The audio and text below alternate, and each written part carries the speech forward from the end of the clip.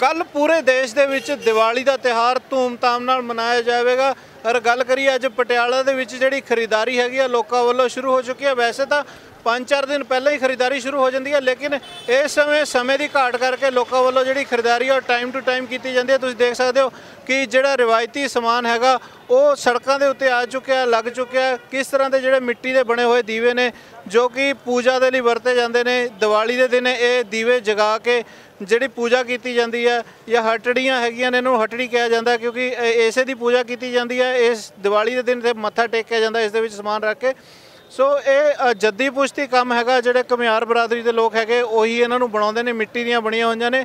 ਇਹ ਸੜਕਾਂ ਦੇ ਉੱਤੇ ਵੇਚਣ ਲਈ ਰੱਖੀਆਂ ਹੋਈਆਂ ਨੇ, ਲੇਕਿਨ ਅਗਰ ਗੱਲ ਕਰੀਏ ਤਾਂ ਕਿਤੇ ਨਾ ਕਿਤੇ ਜਿਹੜੇ ਲੋਕ ਹੈਗੇ ਨੇ, ਉਹਨਾਂ ਦਾ ਰੁਝਾਨ ਹੈ ਜਿਹੜਾ ਉਹ ਚਾਈਨੀਜ਼ ਸਮਾਨ ਵੱਲ ਜ਼ਿਆਦਾ ਵੱਧ ਗਿਆ, ਕਿਉਂਕਿ ਚਾਈਨੀਜ਼ ਸਮਾਨ ਹੈ ਜਿਹੜਾ ਸਸਤਾ ਵੀ ਮਿਲ ਜਾਂਦਾ ਅਗਰ ਗੱਲ ਕਰੀਏ ਤਾਂ ਦੂਜੇ ਪਾਸੇ ਜਿਹੜਾ ਸਮਾਨ ਹੈਗਾ, ਉਹਦੇ ਵਿੱਚ ਨਾ ਤਾਂ ਤੇਲ ਪਾਉਣ ਦੀ ਜ਼ਰੂਰਤ ਪੈਂਦੀ ਹੈ, ਨਾ ਘਿਓ ਪਾਉਣ ਦੀ ਜ਼ਰੂਰਤ ਪੈਂਦੀ ਹੈ, ਨਾ ਦੀਵੇ ਦੀ ਜ਼ਰੂਰਤ ਪੈਂਦੀ ਹੈ, ਨਾ ਬੱਤੀ ਦੀ ਜ਼ਰੂਰਤ ਪੈਂਦੀ ਹੈ।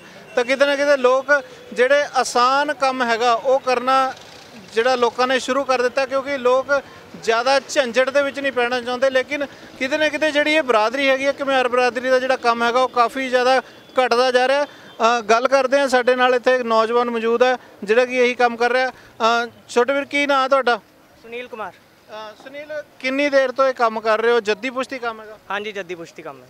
ਤੇ ਕਿਸ ਤਰ੍ਹਾਂ ਦਾ ਹੁੰਗਾਰਾ ਹੁਣ ਮਿਲ ਰਿਹਾ ਇਸ ਕੰਮ ਨੂੰ? ਕਿਉਂਕਿ ਚਾਈਨੀਜ਼ ਸਮਾਨ ਵੀ ਬੜਾ ਆ ਗਿਆ ਲੋਕਾਂ ਵੱਲੋਂ ਖਰੀਦਦਾਰੀ ਕਿੰਨੀ ਕੀਤੀ ਜਾ ਰਹੀ ਹੈ? ਜਿਹੜੇ ਅੱਗੇ 50 50 ਦੀਵੇ ਬਾਲਦੇ ਸੀ 100 100 ਹੁਣ ਫਿਰ 10 ਦੀਵੇ ਲੈ ਕੇ ਫਾਰਮੈਲਿਟੀ ਕਰ ਦਿੰਦੇ ਆ। ਮੋਮਬੱਤੀਆਂ ਬਾਲਦੇ ਆ ਜਾਂ ਮੋਮ ਵਾਲੇ ਦੀਵੇ ਆ ਗਏ। ਬਸ ਉਹਨਾਂ ਨਾਲ ਚਾਈਨੀਜ਼ ਮਾਲ ਵੱਲ ਜ਼ਿਆਦਾ ਭੱਜਦੇ ਆ ਲੋਕ। ਤੁਹਾਨੂੰ ਨਹੀਂ ਲੱਗਦਾ ਕਿ ਜਿਸ ਤਰ੍ਹਾਂ ਮੋਮ ਹੋ ਗਿਆ ਜਾਂ ਫਿਰ ਪਲਾਸਟਿਕ ਦਾ ਸਮਾਨ ਹੈ ਜਿਹੜਾ ਚਾਈਨੀਜ਼ ਵਾਤਾਵਰਣ ਨੂੰ ਖਰਾਬ ਕਰਦਾ ਹੈ ਜਿਹੜਾ ਇਹ ਹੈਗਾ ਕੱਲ੍ਹ ਨੂੰ ਖਰਾਬ ਵੀ ਹੋ ਜਾਂਦਾ ਮਿੱਟੀ ਵਿੱਚ ਮਿਲ ਜਾਂਦਾ ਤਾਂ ਮਿੱਟੀ ਹੋ ਜਾਂਦਾ। ਉਹ ਤਾਂ ਹੈ ਹੀ ਹੈ ਜੀ ਪੋਲਿਊਸ਼ਨ ਤਾਂ ਹੁੰਦਾ ਮੋਮ ਨਾਲ ਜਲਣਾ। ਤੁਹਾਨੂੰ ਪਤਾ ਜੀ ਪਲਾਸਟਿਕ ਦੇ ਲਿਫਾਫੇ ਬੈਨ ਕਰ ਸਕਦੇ ਆ ਮੋਮ ਨਹੀਂ ਬੈਨ ਕਰ ਸਕਦੇ ਇਹ। ਬਟ ਇਹ ਹੈ ਕਿ ਇਹਨਾਂ ਨੇ ਦੇਖਣਾ ਵੀ ਹੁੰਦਾ ਇਕਨੋਮੀ ਹੈ। ਇਹਨਾਂ ਇਹ ਜੇ ਸਪਲਾਈ ਰੋਕਦੇ ਆ ਵਿੱਚੋਂ ਫਿਰ ਇਹ ਰੋਕਦੇ ਨਹੀਂ। ਸੋ ਕਿਤੇ ਨਾ ਕਿਤੇ ਅ, ਜਿਹੜੇ ਕਮਿਆਰ ਬਰਾਦਰੀ ਦੇ ਲੋਕ ਹੈਗੇ ਉਹ ਵੀ ਸਵਾਲ ਚੱਕ ਰਹੇ ਉਹਨਾਂ ਦਾ ਕਹਿਣਾ ਕਿ ਸਰਕਾਰਾਂ ਨੂੰ ਵੀ ਇਸ ਵੱਲ ਧਿਆਨ ਦੇਣਾ ਚਾਹੀਦਾ ਕਿ ਇਹਨਾਂ ਚੀਜ਼ਾਂ ਨੂੰ ਬੈਨ ਕਰਨਾ ਚਾਹੀਦਾ। ਤੁਸੀਂ ਦੇਖ ਸਕਦੇ ਹੋ ਬਾਜ਼ਾਰ ਦੇ ਵਿੱਚ ਜਿਹੜੀ ਰੌਣਕ ਹੈਗੀ ਆ ਪੂਰੀ ਵੱਧ ਚੁੱਕੀ ਹੈ।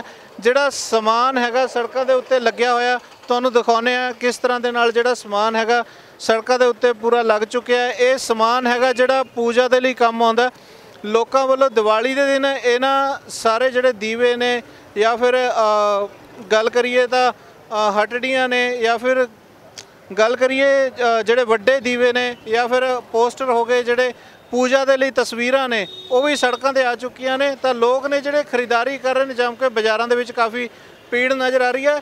ਕਿਤੇ ਨਾ ਕਿਤੇ ਜਿਹੜੇ ਲੋਕ ਹੈਗੇ ਨੇ, ਖਰੀਦਦਾਰੀ ਦੇ ਲਈ ਆਪਣੇ ਆਪਣੇ ਘਰ ਤੋਂ ਬਾਹਰ ਨਿਕਲ ਆਏ ਨੇ। ਲੇਕਿਨ ਕਿਤੇ ਨਾ ਕਿਤੇ ਜ਼ਰੂਰਤ ਹੈਗੀ ਆ ਲੋਕਾਂ ਨੂੰ ਵੀ ਇਸ ਵੱਲ ਧਿਆਨ ਦੇਣ ਦੀ ਕਿ ਜਿਹੜਾ ਜੱਦੀ ਪੁਸ਼ਤੀ ਸਮਾਨ ਹੈਗਾ, ਜਿਸ ਦੇ ਨਾਲ ਪਹਿਲਾਂ ਪੂਜਾ ਕੀਤੀ ਜਾਂਦੀ ਸੀ, ਜਿਸ ਤਰ੍ਹਾਂ ਘੁਮਿਆਰ ਬਰਾਦਰੀ ਦੇ ਲੋਕ ਬਣਾਉਂਦੇ ਨੇ, ਮਿੱਟੀ ਦੇ ਦੀਵੇ ਬਣਾਉਂਦੇ ਨੇ, ਹਟੜੀਆਂ ਬਣਾਉਂਦੇ ਨੇ, ਤਾਂ ਇਹਨਾਂ ਲੋਕਾਂ ਵੱਲ ਵੀ ਧਿਆਨ ਕਰਨਾ ਚਾਹੀਦਾ, ਕਿਉਂਕਿ ਇਹ ਜਿਹੜੀਆਂ ਚੀਜ਼ਾਂ ਹੈਗੀਆਂ ਇਕੋ ਫ੍ਰੈਂਡਲੀ ਨੇ, ਕਿਉਂਕਿ ਕੱਲ ਨੂੰ ਅਗਰ ਖਰਾਬ ਵੀ ਹੋ ਜਾਂਦੀਆਂ, ਤਾਂ ਮਿੱਟੀ ਦੇ ਵਿੱਚ ਅਗਰ ਇਹਨੂੰ ਸਿੱਟਦੇ ਤਾਂ ਮਿੱਟੀ ਦੇ ਵਿੱਚ ਮਿਲ ਜਾਂਦੀਆਂ।